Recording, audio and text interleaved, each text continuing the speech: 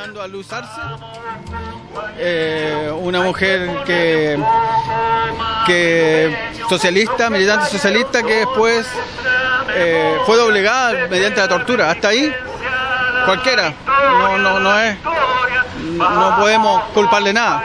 Pero desde ahí en adelante ella comienza a trabajar para la DINA, comienza a ser parte en los, en los allanamientos, usando una UCI, comienza a hacer la es contratada por la DINA, luego pasa a la CNI y llega a ser jefa de sección. Luego de eso, cuando nuevamente se le hunde el barco y se pasa al otro bando, se comienza, en los años 90 comienza a entregar información sobre la DINA.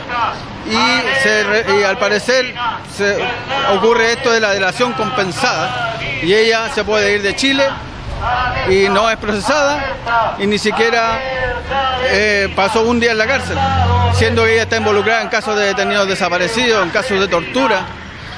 Y hoy día la encontramos viviendo, cuando todos pensaban que no estaba en Chile, la encontramos viviendo aquí en la comuna de Recoleta, en la calle Maipo 558. Vamos a funar a una criminal que se encuentra hasta hoy pensaba ella que estaba, estaba gozando de impunidad. Esta mujer participó al asesinato de mi esposo, Humberto Menanto.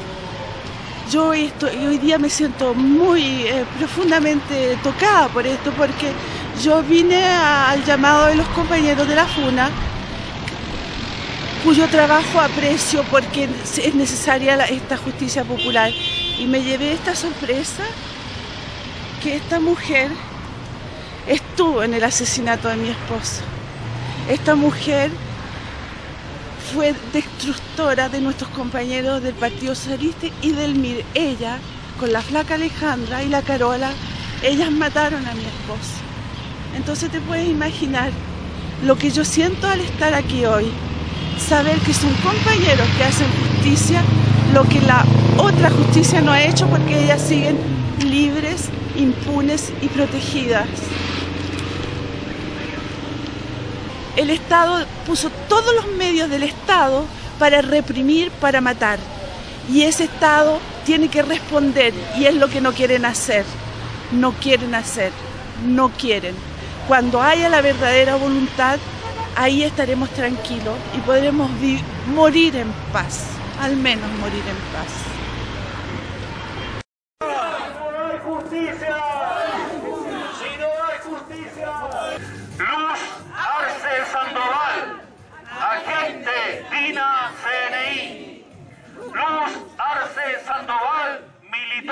Partido Socialista de Chile. Trabajó en La Moneda, donde simpatizó con el GAP y el MIR. Trabajó en ferrocarriles con Alfredo Rojas Castañeda. Luego formó parte del equipo de campaña de Altamirano, desde la brigada Elmo Catalán y de un equipo de seguridad. El 17 de marzo de 1974 es detenida y llevada a Londres 38. Tras ser torturada, comenzó a colaborar con la DINA. Entregó listas de militantes socialistas, pero también fue persona sacarlos de su casa. Participó en operativos armada con una subametralladora UCI, con Osvaldo Guadón Romo y Marcel Trobo Zapata estuvo presente en la tortura de sus compañeros socialistas y militantes del MIR como una forma de verificar sus dichos.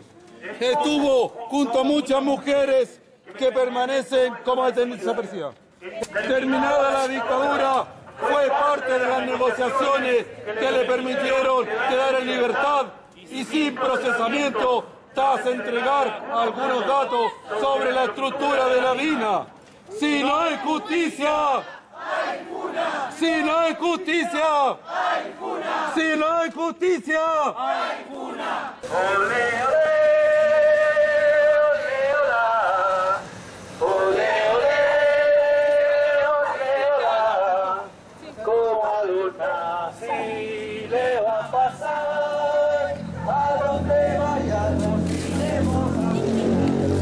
porque en Chile no existe justicia. La impunidad y de nuestra Corte Suprema, como de, de nuestro gobierno actual, es un Estado indolente. Ellos ven el bien de ellos, se olvidaron que también tienen los compañeros que cayeron acá. Hoy día la impunidad está siendo instaurada por todos los partidos, izquierda y derecha. La impunidad es un acuerdo, un acuerdo entre los partidos, en ese tiempo la concertación y la dictadura de Pinochet cívico-militar. Son los, todos estos civiles que fueron parte de la dictadura y los que hoy día son senadores, diputados, tienen altos puestos en el gobierno, los que están trabajando por la impunidad.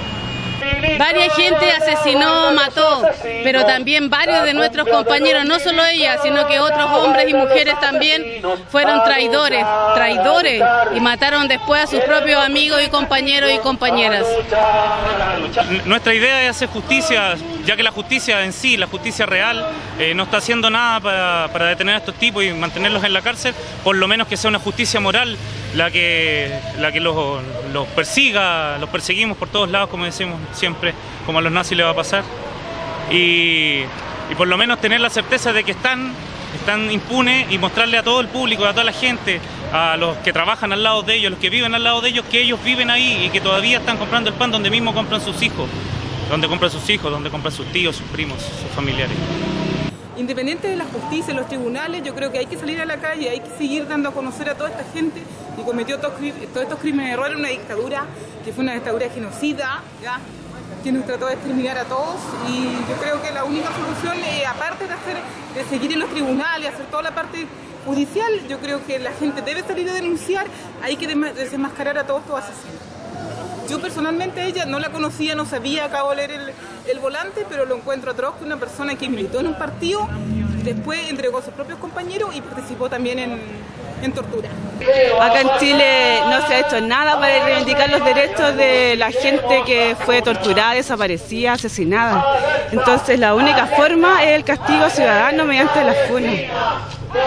Tenemos que ampliar la funa en este momento porque, pucha, perdona que le pida el permiso para rendirle un homenaje a uno que fue mi más grande amigo, el chico Alejo, compañero asesinado en Venezuela, pero en esta cosa del golpismo y todas las cosas está la complicidad de muchos de los que ayer marcharon con nosotros, especialmente el Partido Socialista. Entonces, en ese concepto, si hubo una traición de delación de antes, hoy hay una traición de entrega y más grande que con la corrupción y la actitud de golpista que están teniendo contra nuestros mismos que contra el mismo pueblo que en un momento nos dio un gran apoyo.